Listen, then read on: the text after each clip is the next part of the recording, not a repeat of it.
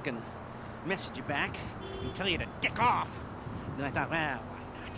Why not go down there and meet him and tell him to dick off IRL? Look, look, whatever you want from me, whatever this big new job is, I'm out, okay? I'm done. I already took every decent score in the state. I cleaned out the Union Depository. I took down the IAA and the FIB. I rang the bell on half the BAWSAQ 500 CEOs. Money than I could ever spend. Okay, so that's it. I always dressed like a retiree. Now, I actually am one. So go ahead, so I can tell you to sh- shove it up your honey. I messaged you. No, no, no, no, no, no. You messaged me. Who hacked my phone? We did. In case you don't recognize her, this is Georgina Cheng, Vice President of Cheng Holdings. Investor, philanthropist, socialite. She was just voted the 89th best dressed lady in China. Yeah, yeah. Ni hao. I did my undergrad in London, my master's in Vespucci, Mr. Crest. You can speak English. It's a pleasure to meet you. Likewise. Miss Cheng has come to Los Santos to deal with a regrettable incident. Oh, let me guess.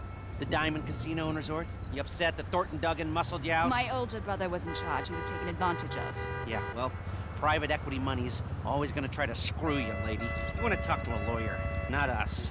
You misunderstand. I don't want the casino back. I want them to wish they never heard of it. How so? You're going to rob it. And why would we do that? Aside from the vault stuffed with cash and different guest consignments every week, there's the challenge.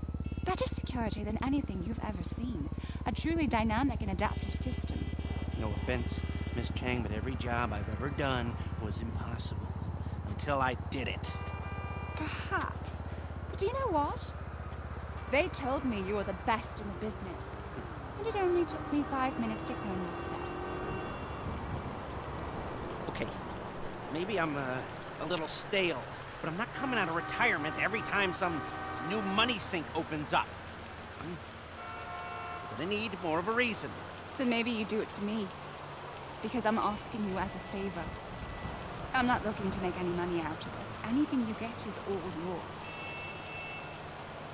I need a base of operations. Find something, but we can't have anything to do with it. Your associate will have to be the front. I'm not gonna pretend I haven't already looked into this job a little bit, you know, professional curiosity. So I'll send you a mail, and it's up to you. Now, if you'll all excuse me, I don't want to miss the early bird special. Bye then! He's just who I thought he'd be. I hope he can help us. Wang, let's go. Yes, why not?